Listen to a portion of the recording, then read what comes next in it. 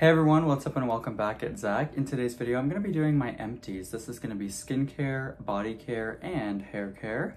So please stay tuned so we can go over all the products. I will tell you if I plan on repurchasing the product and kind of what I thought about it. So you get a little mini review in this video of everything that I have used up. All right, first thing I'm gonna start off with is facial care or skincare. So the first thing that I emptied out here was this face wash. This is from, I believe just the brand Anti-Blemish or it's by Truly Beauty, uh, made in the USA.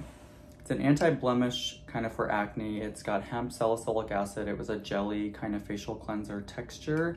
And you know, it has salicylic acid. I felt that this was okay. Salicylic acid is the second to last ingredient in there besides green coloring. So I would not repurchase it, but I did get it on clearance super cheap and I did like it, um, but I would not be repurchasing it. Next cleanser that I went through was the L'Oreal Paris Revitalift Bright Cleanser. This is a glycolic acid scrub, so it actually does have kind of sugar or salt inside there to give you that scrub feeling on your face, which is a physical exfoliant mixed with glycolic acid, which is a chemical exfoliant. So this is an exfoliating cleanser. I would not recommend using this every day. I would use this like once or twice a week. I did like it just because it the glycolic does exfoliate the skin and then the the beads in there do give you a little bit of a physical exfoliation, which, which can be nice at times. I would tell you that I repurchased it, except I was at the store today and realized that this went up $3. This used to be $5.79 and now it's $8.59. So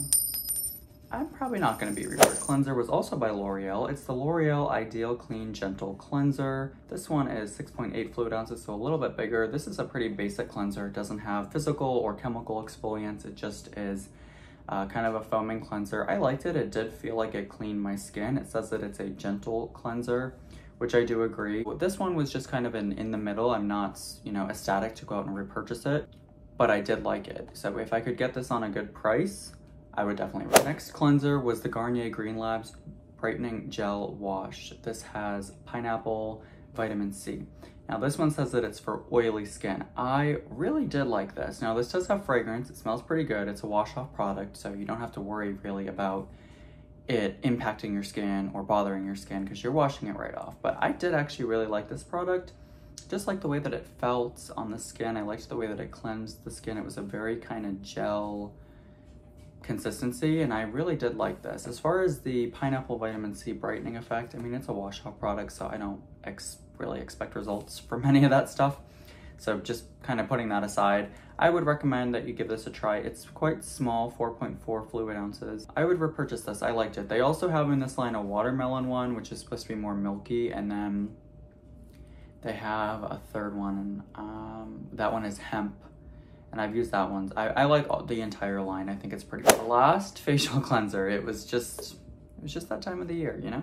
L'Oreal Paris Revitalift Derm Intensives 3.5 Pure Glycolic Acid Cleansing Gel. Now, this one is 6.7 fluid ounces. I feel like it would be so much easier for L'Oreal just to have one size, like six ounces or something, because they have to have all these different packages for each of these products, and that's costly. Like, just across the board, change the label, of course, but anyway. This I have used for years, and I do really like it, and the price has gone up, unfortunately, year over year, but it is a really great product. The glycolic acid doesn't bother me, it doesn't oversensitize me, it just exfoliates the skin. So I do recommend this, I do really like it. I will be repurchasing it at some point in the future. All right, let's get into something more. Oh, one more cleanser. One more cleanser. This is the Sephora Melting Cleansing Balm. Now, this is from the actual Sephora line. It comes in a pretty big jar. I believe this is, yeah, 4.22 ounces. I've used all of it. It's like a green color. I will be repurchasing this during the Sephora fall sale, which will be either late October or early November of 2024. They have it twice a year, spring and fall. So really, I only recommend that you pick stuff up from the Sephora line during their sale because it's 30% off whether you are a Sephora member or not. You can just walk in, sign up, and get 30% off. So you don't have to be in a sort of spend tier. And 30% is a it's good, you know, and this is already pretty cheap. Love it. It's a cleansing balm. It takes off your makeup, your sunscreen, your waterproof stuff gently, and then you go in with your cleanser after that. Check some of my nighttime skincare videos to see how I use different cleansing balms, but this has been one of my favorites made in France, which I do appreciate. Great quality, I totally recommend. Next up is a serum. This is the Skin Revolution 12.5% vitamin C. Now, I took me a while to get through this. I like the packaging. It's a pump, it's a glass bottle. So it's good quality there. The product itself, got nothing left, but I wanted to try to just show you. Comes out um, orange. It leaves the skin with a little bit of a nice glow, but it's not overly dewy. It, it softens the skin too. Vitamin C is a great ingredient, but it's very hard to source and it's very hard to formulate. So uh, an affordable skincare like Revolution, they're also a makeup brand. I don't have a lot of confidence that their vitamin C is really formulated to do the most for me, but I thought it was an okay product. I'm not gonna repeat. A moisturizer, I kept the box because I have to show you guys this. This is from the brand Simple. It's their Sensitive Skin Water Boost Skin Quench Sleeping Cream. This is what it looks like, comes in a little jar. Guys, guys, I paid $2.99 for this. That's crazy. I loved the way that this felt. It was like lightweight, but moisturizing. I, I feel like the name is not accurate. Skin or sleeping cream. Sleeping cream to me is like heavy, disgusting, like you don't want it on your face because it's so thick and gross. I did not feel the way that way about this product. I would use it day or night. So lightweight, so softening and smooth on the skin. Um, I think the second ingredient is dimethicone. Yeah, it is. So it it smooths the skin. It is probably a very affordable dupe to something like L'Oreal now or Olay. You're not gonna get their type of ingredients. Like this is very basic. This doesn't have exfoliants or niacinamide or vitamin C, but it's a great moisturizer. Use a serum to treat and use this to hydrate. Great combination. I will be repurchasing this somewhere, whether I can find it at Marshall's or I buy it online or whatever. I have not seen this in my local CVS, so I'm gonna have to see where I can find it, but great, great find. Next up is the Laneige Cream Skin. This is a peptide toner and moisturizer combo. I really like this. There's a there's a teeny tiny bit left in there, so it's not gonna go in the empty jar because I'm gonna finish it, but this is such a great product. I really like it. The Ordinary has recently come out with a dupe for this, and they were like right next to each other inside of Sephora. So mm, yeah, I don't know if that was a coincidence, but I picked up the Ordinary one. So if you guys want me to do a side-by-side -side comparison, I can definitely do that for you. And you know, I could do it with this little bit left. So comment down below if you want that ASAP before I use this and get rid of it. But it's a toner and a hydrator. It's kind of a milky consistency. I really like it. As far as toning, what is it really doing? I mean, not a lot. It's not gonna really brighten and lift your skin, but it's hydrating, it's softening. So if you have oily skin or it's, you know, summer and you live in a humid climate, you can totally just use that and not, you don't need a moisturizer over it. You can go right in with sunscreen over that, or if it's at nighttime and you don't wanna moisturize, you could skip it, because this really does kind of have it all in one. So I really like that. Recommend it. It is expensive, so I'm gonna I'm gonna do a side by side from the ordinary. Let's let's really see, because I think the Laneige is like forty dollars. All right, up next is a shaving cream that I've been using. This is the Gillette Foamy Sensitive Skin. Now, why is it sensitive compared to the original? I'm not really sure. Because this has fragrance in it, so does the other one. So I think it's just marketing, but they're the same price, so is what it is. I like this. It's very affordable and you know, it just, it, it works to help protect the skin from getting cut or tugging when you're shaving. Shaving is a little harsh on the skin. Body, face, doesn't really matter. It's, it's harsh. So using this just helps with that. Um, and I like to cleanse my skin after I shave, but it, sometimes it's better to do it before just so that it's clean and you've kind of removed debris and oil and stuff like that, but you kind of want to wash your face also after just to make sure you get all this off. So just depends on your skin, but I did like this one. Do a sunscreen. I only have one empty, but I'm on the verge of emptying out two other sunscreens. So stay tuned for those. One of them, of course, is my all-time favorite, the Hada Labo. I'm almost out with that. I'm, I'm like savoring it. Um, but this is the Biore UV Aqua Rich. It is a Japanese sunscreen and they recently have kind of reformulated it and given you a bigger bottle. So I always appreciate that with this inflation nation and shrinkflation. They're doing the opposite, so I appreciate that. They're having deflation in a lot of Asian countries right now, so that that may be where you want to source your stuff because it'll probably will be cheaper. Anyways, really like this. It leaves a glowy skin or glowy look on the skin, which, you know, is not my favorite. I personally like a more natural or even a matte kind of a finish, but I do like this and it's so affordable if I'm almost to the free shipping on YesStyle, which is where I source all of my Japanese and Korean skincare. If I'm so close to the free shipping, I usually get this because I know I'll use it at some point and it's like $9. So it just gets me, gets me to the point without going so beyond the $50 free shipping mark. But I do like it. Great filters that are not approved or available in the US, but do work really well. And I would say it, it go it wears very well under makeup. I don't think it's waterproof. This one, by the way, is the Watery Essence. I know there's a couple different Biore ones. All right, we're gonna jump into hair care. So I went through the Garnier Whole Blends shampoo and conditioner. This is the coconut oil and cocoa butter remedy. Now this is a sulfate-free formula, um, which I do appreciate. This shampoo, uh, conditioners don't have sulfates, but shampoos do because they're cleaning the scalp and, and the hair. This has sodium C14-16 olefin sulfonate.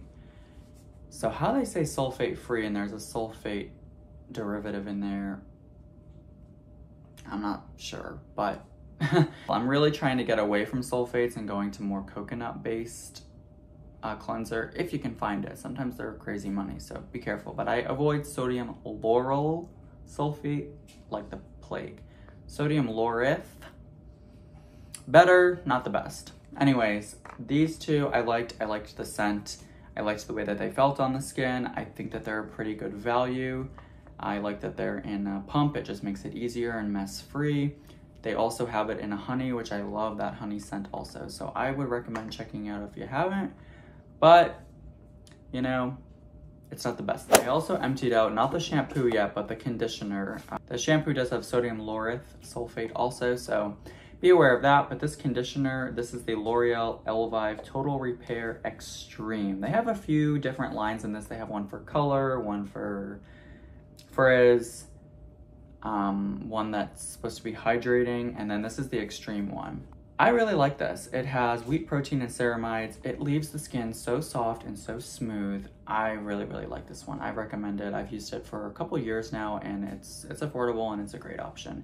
The shampoo, you know, it does do a really good job at getting the scalp cleansed, but again, don't use it every day because it's harsh on your scalp. It's harsh on the hair follicle, but it does a great job at cleaning and then the conditioner does really restore and hydrate that hair. I also used up this 18th 21 premium hairspray. This one I really like. It works good. It keeps the keeps the hair. It's from in here, so I don't know.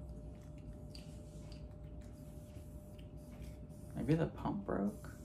There's like a bunch left in here.